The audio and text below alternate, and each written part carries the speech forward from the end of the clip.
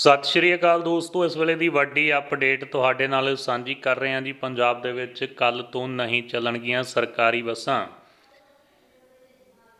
EMPLOYE on strike so Punjab roadways buses on strike Puri information ਦੇ ਲਈ ਪੂਰੀ video ਨੂੰ ਅੰਤ ਤੱਕ ਦੇਖ ਲਓ, ਤੁਹਾਨੂੰ ਪੂਰੀ ਖਬਰ ਦਾ ਪਤਾ ਲੱਗ ਜਾਏਗਾ। ਵੀਡੀਓ ਨੂੰ ਲਾਈਕ ਚੈਨਲ ਨੂੰ ਸਬਸਕ੍ਰਾਈਬ ਅਤੇ ਵੀਡੀਓ ਨੂੰ ਵੱਧ ਤੋਂ ਵੱਧ ਸ਼ੇਅਰ ਕਰਨਾ ਨਾ ਭੁੱਲਿਓ। ਪੰਜਾਬ ਦੇ ਵਿੱਚ ਜੇਕਰ ਤੁਸੀਂ ਕੱਲ ਪਨ ਬੱਸ, ਰੋਡਵੇਜ ਪੈਪਸੂ ਦੀ ਬੱਸ ਰਾਹੀਂ ਸਫ਼ਰ ਕਰਨ ਜਾ ਰਹੇ ਹੋ ਤਾਂ ਸਾਵਧਾਨੀ ਵਰਤਣ ਦੀ ਲੋੜ ਹੈ। ਪੰਜਾਬ ਭਰ ਦੇ ਵਿੱਚ ਪੀਆਰਟੀਸੀ ਪਨ ਬੱਸ ਯੂਨੀਅਨ ਵੱਲੋਂ ਆਪਣੀਆਂ ਮੰਗਾਂ ਨੂੰ ਲੈ ਕੇ ਚੱਕਾ ਜਾਮ ਕੀਤਾ ਗਿਆ, ਜਿਸ ਕਾਰਨ ਸੂਬੇ ਦੇ ਵਿੱਚ ਬੱਸਾਂ ਦਾ ਪਹੀਆ ਜਾਮ ਹੋ ਜਾਵੇਗਾ। ਜਾਣਕਾਰੀ ਦੇ ਅਨੁਸਾਰ